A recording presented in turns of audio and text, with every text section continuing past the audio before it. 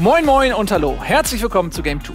Heute blicken wir mit Schrecken auf ein Sequel namens Little Nightmares 2, dessen Name wahrscheinlich wieder leicht untertrieben sein dürfte. Außerdem gibt es mal wieder einen Wii U-Port zum Vollpreis für die Switch. Dieses Mal war Nintendo aber in Spendierlaune und hat auf Super Mario 3D World glatt noch ein neues Abenteuer namens Bowser's Fury oben draufgepackt. Ob sich das Ganze lohnt? Hm, jetzt erfahrt ihr es.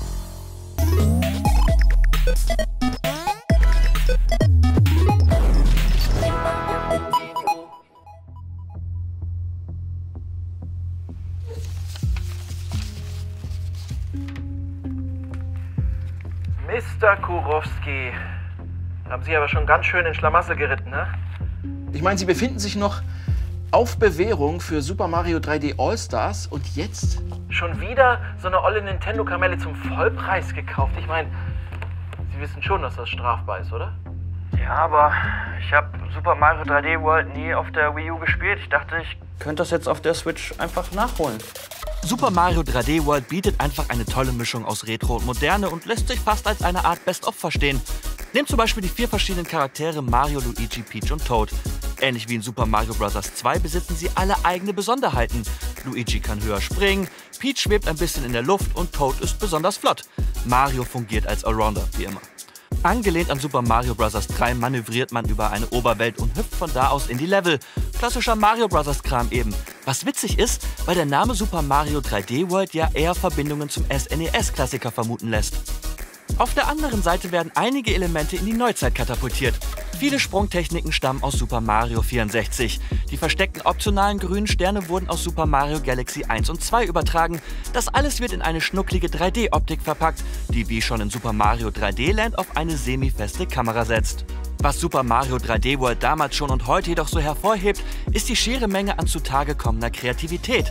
Fast jedes Level besitzt ein spezielles Thema oder einen unterhaltsamen Kniff, aber keine Idee überbeansprucht eure Zeit. Es gibt sogar ein Mario Kart Level und ihr könnt das Spiel auch komplett im Multiplayer mit bis zu drei weiteren Personen spielen. Jetzt sogar nicht nur Couch-Koop-Style, sondern auch übers Internet.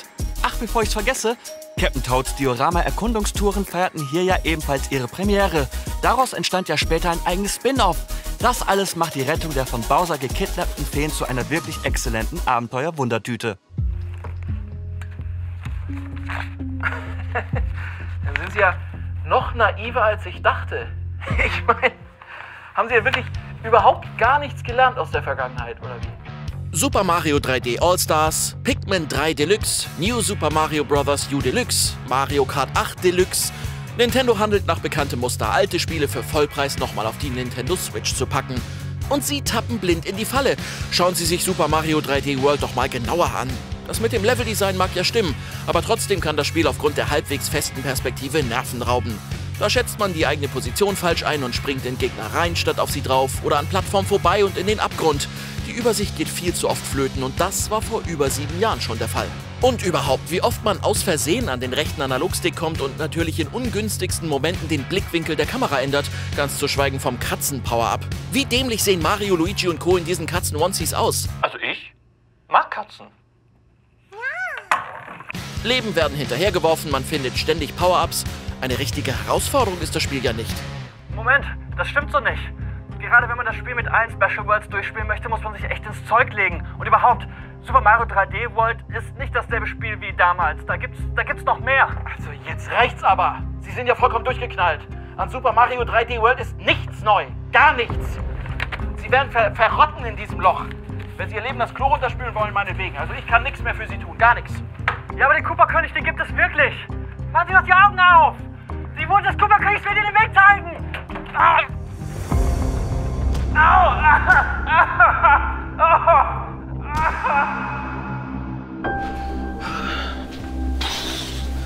Was für ein Unfug.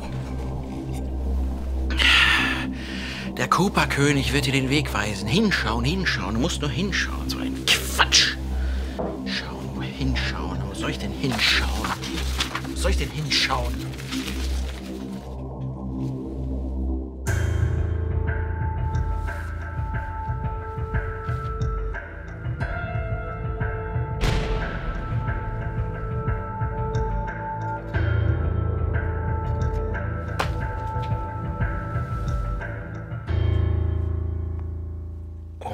Gott.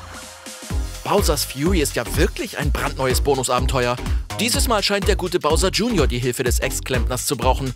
Papa Bowser wird aus mysteriösen Gründen nämlich regelmäßig wütend, riesengroß und richtet Unheil an. Gut, die Story ist sogar für Mario-Verhältnisse etwas dürftig, reicht aber aus, um dem Koopa-König ein weiteres Mal die Stirn zu bieten. Diese Erweiterung tritt nicht in die Fußstapfen von Super Mario 3D World, sondern steht auf eigenen, gigantischen, flauschigen Katzenbeinen. Das erkennt man vor allen Dingen daran, dass es hier eine freie Kamera gibt. Dadurch erinnert dieser Mario hier deutlich mehr an seine großen Kollegen aus Super Mario 64, Sunshine, Galaxy und Odyssey.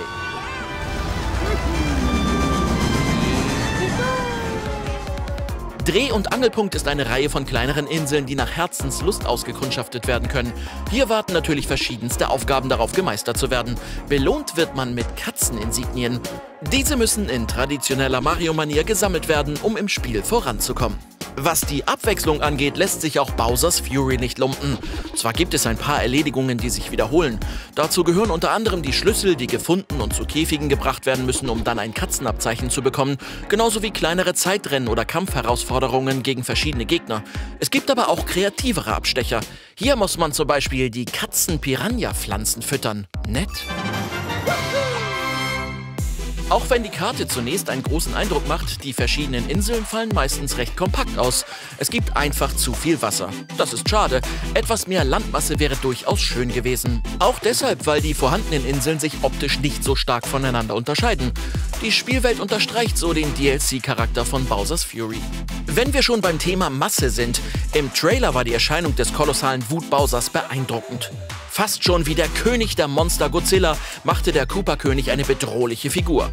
Das ist auch eine coole Idee, schließlich kann sich Mario ebenfalls dank der speziellen Giga-Glocke in eine riesige Katze verwandeln. So entsteht schon fast eine Art Kampf der Titanen, der an den ersten God of War-Teil erinnert. Das Problem an der Sache, die Giga-Glocke lässt sich nur dann einsammeln, wenn sich ausreichend Katzeninsignien im Besitz befinden, was nicht immer der Fall ist. Deswegen sind seine Wutanfälle oftmals einfach nur auszuhalten. Dummerweise rastet Wutbowser fast alle paar Minuten aus. Das führt dazu, dass sein anfangs bedrohliches Auftreten mit der Zeit eher nervt. Gerade dann, wenn Mario sich um eine Aufgabe kümmert. Dadurch gerät auch der Gameplay-Flow immer wieder ins Stocken. Die Wut Bowsers lässt sich auch ohne Gigakatze zeitweise ersticken. Und zwar, wenn passenderweise eine Insignie eingesammelt wird. Davon gibt es ohnehin irre viele. Wer anfangs denkt, dass Bowsers Fury ein kurzes Intermezzo ist, hat nur zur Hälfte recht. Die Credits flimmern zwar durchaus nach ein paar Stunden über den Bildschirm, danach gibt es aber noch sehr viel mehr zu tun. Der Umfang kann sich sehen lassen. Wie Super Mario 3D World besitzt Bowsers Fury genauso eine Multiplayer-Komponente. Die fällt allerdings dürftiger aus. Anstatt dass ein weiterer Spieler als Luigi, Peach oder Toad ins Spielgeschehen eingreift, wird die Rolle von Bowser Jr. übernommen. Der kann Münzen einsammeln und Gegner vermöbeln. Als KI-Unterstützung taugt er allemal, gerade weil sich der Hilfegrad in den Optionen einstellen lässt. Unter dem Koop-Gesichtspunkt lässt der Mini-Bowser in bester Mario-Tradition insgesamt jedoch etwas zu wünschen übrig. Puh, Bowser's Fury ist als Erweiterung eine gelungene Geschichte und wertet das Super Mario 3D World Paket auf. Ob sich die Anschaffung lohnt, wenn man das Hauptspiel bereits in- und auswendig kennt, das ist eine schwer zu beantwortende Frage. Vielleicht nicht unbedingt zum Vollpreis. Aber vielleicht nicht zum Vollpreis heißt bei Nintendo ja warten bis zum Nimmerleinstag. Wem Super Mario 3D World damals auf der Nintendo Wii U durch die Lappen ging, der darf ohne schlechtes Gewissen zugreifen. Denn das ist ja wirklich ein fantastisches Jump'n'Run. Er hatte recht. Der verrückte Bastard hatte recht. Ich muss die Staatsanwaltschaft anrufen. Ja, bist ja nochmal mit dem blauen Auge davon gekommen, ne? Beim nächsten Mal ein bisschen, bisschen vorsichtiger. Ja, aber wenn Super Mario Galaxy 2 für die Switch kommt. Ich geb dir gleich, Tisch ab! Moin und hallo, herzlich willkommen zu den News. Seit dem Release von Cyberpunk 2077 scheinen die Mitarbeiter von CD Projekt Red kaum noch eine ruhige Minute zu haben. Beinahe wöchentlich gibt es neue Hiobs-Botschaft und diese Woche ist da keine Ausnahme. Am Dienstag berichtete die Firma über Twitter, dass sich offenbar Hacker Zugänge zum Netzwerk der Firma verschaffen konnten. Dabei konnten die Angreifer nicht nur Firmenserver verschlüsseln, Personal- und Buchhaltungsdaten stehlen, sondern entwendeten laut eigener Aussage auch den Quellcode zu Cyberpunk 2077, Gwent und einer unveröffentlichten Version von The Witcher 3. In einem Erpresserschreiben drohten die Angreifer damit, sämtliche Daten zu veröffentlichen, sollte sich das Studio nicht bei ihnen melden. Auf Twitter gab CD Projekt Red bereits an, nicht mit den Erpressern zu kooperieren. Dass HBO eine Serie zu Naughty Dogs legendärem Survival Adventure The Last of Us plant, ist bereits bekannt. Jetzt ist allerdings ein weiteres Detail bekannt geworden, das für so eine Serienadaption nicht ganz unwichtig ist. Und zwar die Besetzung. Wie diverse Medien übereinstimmend berichten, sollen die Hauptfiguren Joel und Ellie von Pedro Pascal und Bella Ramsey verkörpert werden. Beide kennt man unter anderem aus Game of Thrones, wo sie in den Rollen von Oberyn Martell und Lyanna Mormont schon zu den Publikumslieblingen zählten. Darüber hinaus war Pascal auch als Mandalorian in der gleichnamigen Star Wars-Serie in Anführungszeichen zu sehen und dürfte vielen auch aus Narcos bekannt sein. Mit Last of Us Mastermind Neil Druckmann und Craig Mason, dem Producer der hochdekorierten HBO-Serie Chernobyl, stehen auch schon die Showrunner fest. Einen Starttermin für die Last of Us-Serie gibt es allerdings noch nicht. Das war aber natürlich noch längst nicht alles. Schnallt euch an, denn jetzt kommt der Ticker. Aufgeschoben. Noch bevor die BlizzCon offiziell losgeht, bremste Blizzard die Vorfreude der Diablo- und Overwatch-Fans. Laut dem Videospieljournalisten Jeff Keighley teilte die Firma im Rahmen einer Konferenz mit, dass Overwatch 2 sowie Diablo 4 in diesem Jahr definitiv nicht mehr erscheinen werden. Abkassiert. Ubisoft feiert das bisher erfolgreichste Quartal seiner Firmengeschichte. Im Rahmen einer Investorenkonferenz teilte der Konzern mit, im vergangenen Quartal einen satten Umsatz von ca. 965 Millionen Euro erwirtschaftet zu haben. Besonders Titel wie Assassin's Creed Valhalla und Just Dance sollen maßgeblich zu diesem Erfolg beigetragen haben. Nun will man vor allem den Free-to-Play- und Service-Games-Bereich stärken. Abgespeckt. Mit nur 40 Spielen im Store startete vergangene Woche die Beta von Steam in China. Die Plattform unterscheidet sich dabei von der uns bekannten Version in vielerlei Hinsicht. So fehlen unter anderem sämtliche Community-Funktionen und alle Spiele, welche auf Steam China veröffentlicht werden sollen, müssen sich erst eine Lizenz der Regierung einholen. Laut Aussagen einiger Entwickler ist dies ein sehr aufwendiger und kostspieliger Prozess. Aufgehübscht. Der Hobbyentwickler Nikobas arbeitet derzeit an einem vollständigen Remake des zweiten Tomb Raider Spiels. Der erste Level ist mit rund einer halben Stunde Spielzeit bereits vollständig spielbar und das Spiel soll nach Fertigstellung als kostenloser Download verfügbar sein. Ob das ambitionierte Fanprojekt aufgrund der uneindeutigen Rechtslage online bleiben wird, bleibt abzuwarten. Abgedriftet. Auf Reddit berichten aktuell Spieler und Spielerinnen vermehrt, dass auch der Controller der PlayStation 5 von Fehlfunktionen betroffen ist. Bereits wenige Tage nach dem Kauf der Konsole gab es Berichte über Probleme mit driftenden Analogsticks. In den USA wird sogar schon eine Sammelklage vorbereitet von derselben Agentur, die auch schon Nintendo wegen der fehlerhaften Joy-Cons der Switch verklagte. Ausverkauft. Seit Monaten ist der Preis für neue Grafikkarten auf einem Rekord hoch. Grund dafür sind laut der niederländischen Hardware-Website Alternate neben der Corona-Pandemie auch die schlechte Verfügbarkeit von Rohstoffen sowie ein temporärer Produktionsstopp in den Fabriken zum anstehenden chinesischen Neujahrsfest. Aufgrund der hohen Nachfrage erzielen aktuell sogar ältere gebrauchte Grafikkarten auf Plattformen wie eBay hohe Preise. Rust ist zwar immer noch der heiße Scheiß, die Konkurrenz schläft aber nicht und hat mittlerweile sogar die Spitze der Steam-Charts übernommen. Valheim muss man sich im Prinzip ein bisschen wie eine große Open-World Survival Sandbox im Wikinger-Setting vorstellen. Wir konnten das Ganze schon ein paar Stunden spielen und sind ziemlich angetan von dem Early Access-Titel. Aber eins nach dem anderen. Valheim ist seit dem 2. Februar im Early Access bei Steam und hat schon jetzt eine beachtliche Spielerschaft gesammelt. Alleine oder mit bis zu 10 Spielern gemeinsam online startet ihr survival-typisch irgendwo um nichts einer prozedural generierten Welt. In seinen ersten Minuten spielt sich Valheim noch wie die meisten anderen Survival-Sandbox-Games. Ihr sammelt mit den bloßen Fäusten Holz, Steine und Beeren, baut euch dann erste Werkzeuge und jagt Tiere. Soweit so bekannt. Dabei ist der Survival-Aspekt in Valheim allerdings nicht das größte und tragendste Element. Klar, es ist wichtig, sich eine Hütte zum Schutz vor der Kälte zu bauen, aber ihr müsst beispielsweise nicht ständig Nahrung zu euch nehmen oder lauft Gefahr, plötzlich zu verhungern. Große Besonderheit bei Valheim im Gegensatz zu anderen Sandbox-Games dieser Art ist, dass du für unterschiedliche Biome auch jeweils einen Bosskampf hast. Das bedeutet, du musst diese Bosse legen, um überhaupt, sag ich mal, im Spiel Fortschritte machen zu können. Diese Bosse droppen, wenn du sie besiegt hast, nämlich bestimmte Items, die es dir eigentlich erst ermöglichen, wirklich in der Spielwelt voranzuschreiten. Die Rezepte sind überaus wichtig, denn ohne sie kommt ihr im Spiel nicht weiter und könnt beispielsweise keine stärkere Ausrüstung anfertigen. Zudem gibt es über die ganze Map verstreute Dungeons und Höhlen, die es zu erkunden gilt. Optisch wirkt der Titel auf den ersten Blick zwar wie aus der Zeit gefallen, jedoch kaschiert Valheim mit seiner schönen und atmosphärischen Lichtstimmung immer wieder geschickt seine eher simpel gehaltene Grafik. Was das Kampfsystem angeht, so besteht es bisher nur aus einer Ausweichrolle, einem Block und zwei unterschiedlichen Angriffen und darf gerne noch ein wenig Tiefgang spendiert bekommen. Auch das Errichten von eigenen Gebäuden steuert sich teilweise noch etwas fummelig. Hier hoffen wir auf ein baldiges Update. Außerdem hat die Gegner-KI definitiv ihre Probleme, denn es braucht nicht mehr als einen kleinen Aussichtsturm, um sie völlig aus dem Konzept zu bringen. Ansonsten waren wir positiv überrascht, wie bugfrei das Spiel bereits läuft. Gerade im Early Access keine Selbstverständlichkeit. Und vor allem, wie viel Bock das Ganze jetzt schon macht. Also ich sehe schon, dass das Ding auf jeden Fall Potenzial hat. Ähm, Gerade auch, weil du mit bis zu zehn Spielern das Ganze online im Koop spielen kannst. Äh, du kannst auch ausstellen, dass du keinen PvP hast, sondern dass du quasi ganz in Ruhe kooperativ zusammenarbeiten kannst. Das Wikinger-Setting ist auf jeden Fall, was heraussticht. Und auch, dass ähm, die ganzen Random-Encounter durch verschiedene Monster, die die ganze Zeit über stattfinden, das Ganze auf jeden Fall beleben und ähm, hervorheben aus der Masse.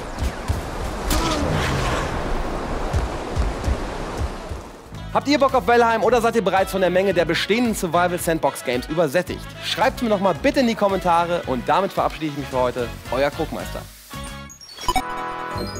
Little Nightmares dürfte 2017 viele Spieler überrascht haben. Und zwar nicht nur, weil das Spiel ein Überraschungshit war, sondern auch, weil es mehr Horror gab, als es auf den ersten Blick den Anschein hatte.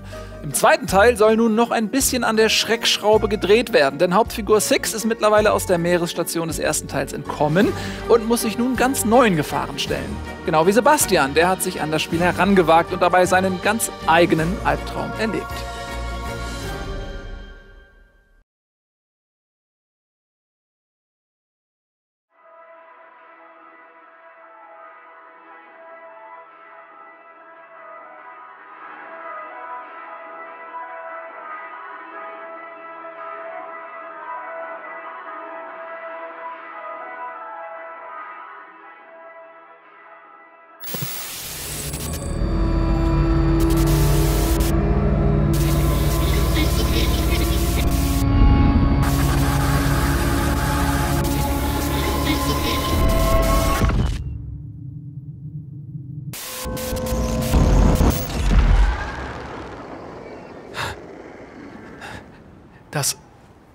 Das muss ein Albtraum sein. Anders kann ich mir das nicht erklären. Dieser schummrige, trostlose Wald war doch eben gerade noch mein Wohnzimmer. Warum bin ich hier? Und wo überhaupt ist dieses hier? Ich habe keine Ahnung. Ich weiß nur, dass plötzlich alles und jeder meinen Tod will. Netzfallen, Bärenfallen, Käfige, sogar Baumstämme. Und wenn sie mich erwischen, geht es einfach wieder von vorn los. Wieder und wieder und wieder. Ein Fehler genügt. Ich muss lernen, mit ihnen umzugehen. Sie auszutricksen. Zur Belohnung geht's an einen anderen Ort. Einer maroden, verwahrlosten Hütte. Na, herzlichen Glückwunsch. Sollte das hier wirklich kein Albtraum sein, dann ist es zumindest perfektes Futter für einen. Plötzlich ist da aber diese Melodie. Ich kenne sie. Sie gehört zu diesem Mädchen mit der Spieluhr. Ich nehme mir die Axt aus dem nahegelegenen Werkraum und befreie sie. Zumindest denke ich, dass ich das getan habe. So richtig dankbar ist sie dafür aber auf jeden Fall nicht. Als ich sie einhole, wird schnell klar, dass wir nur zusammen weiterkommen. Hier zum Beispiel. Ich halte mich an diesem Ding fest, von dem ich gar nicht genau wissen will, was es ist, während sie mich per Seilzug in Schlüsselreichweite hebt. Wir schlagen uns ganz gut. Vielleicht haben wir sogar eine ernsthafte Chance, dieses Was und wo auch immer heil zu verlassen. Wenn da nur nicht er wäre.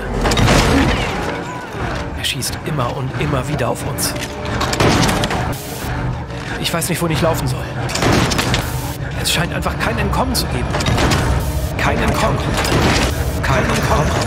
Kein Schon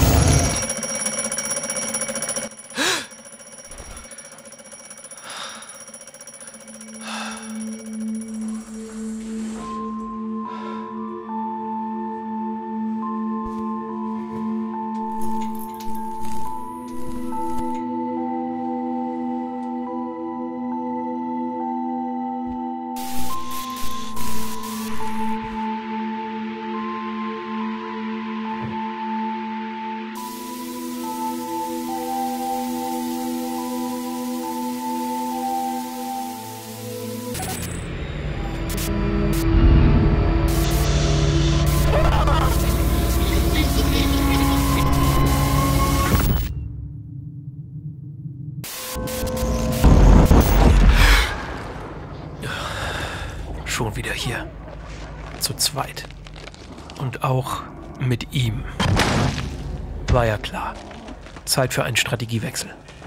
Verstecken und schleichen. Zumindest wenn es geht. Und in diesem schmoddrigen Morast geht das gut. Immer schön außer Sichtweite bleiben. Im Schein der Taschenlampe ausweichen. Deckung suchen. Mit einem letzten Sprint schaffen wir es in eine Hütte. Über die Hütte an einen Strand und hier endlich in die Freiheit. Ruhe. Die Stille ist schon fast berauschend. Noch viel mehr aber das. Eine Stadt aus wogenden Fassaden. Im Vergleich zu mir, wie alles hier, riesig, bedrohlich. Aber keine Zeit, den Anblick zu bewundern. Wir bahnen uns im Teamwork einen Weg durch ein verfallenes Haus. Anscheinend gibt es hier keine Bewohner mehr. Nur diesen Fernseher. Dieses Signal. Mein Kopf fühlt sich so an, als würde er gleich platzen. Aber es hat recht.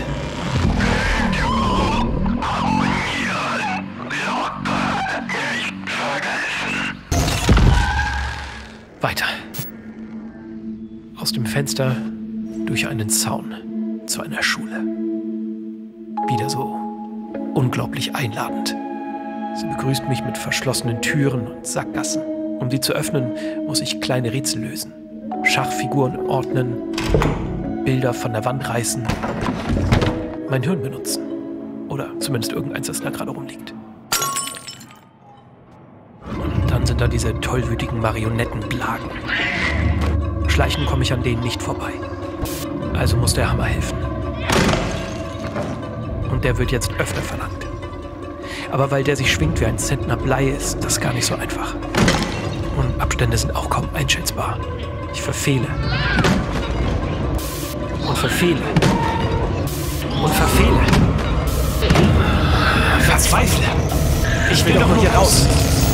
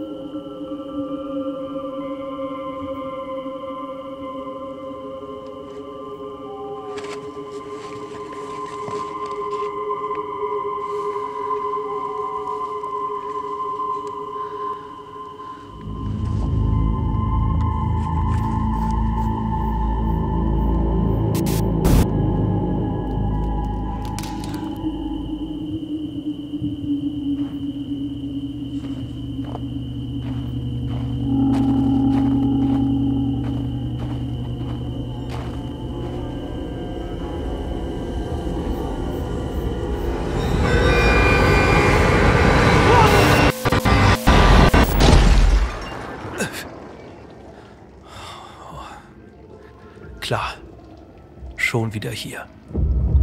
Auch wenn hier ein dehnbarer Begriff zu sein scheint. Jetzt ist hier die Stadt im Schein von rauschenden Fernsehern. Die unheimlichen Bewohner wie hypnotisiert. Klingt komisch, aber ich kann es irgendwie verstehen. Dieser seltsame Albtraum hat irgendwas. Er ist unheimlich und trostlos, ja, aber irgendwie auch atemberaubend.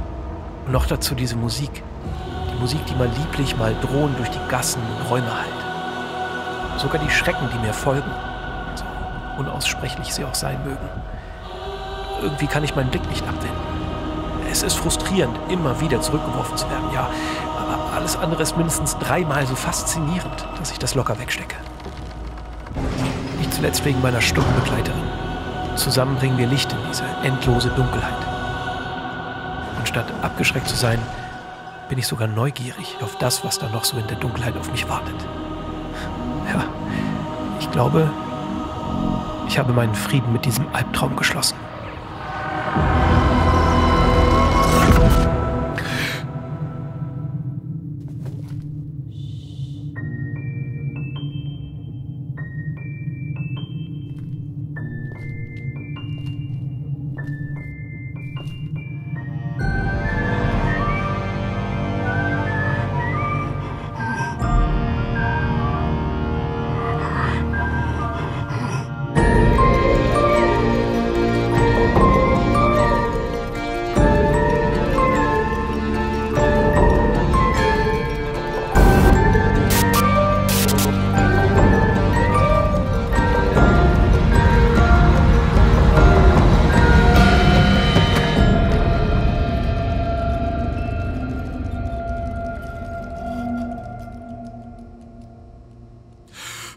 Mm.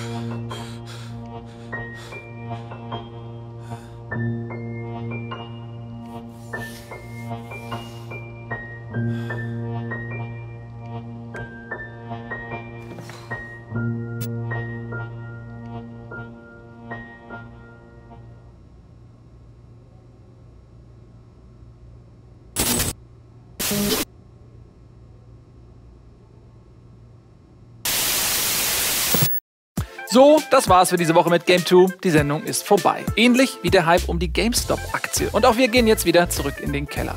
Und falls ihr keine Ahnung habt, wovon wir hier gerade reden, dann schaut euch gerne das Video von Valulis dazu an. Die haben das Ganze sehr treffend erklärt. Bis dahin, wieder schauen, reingehauen.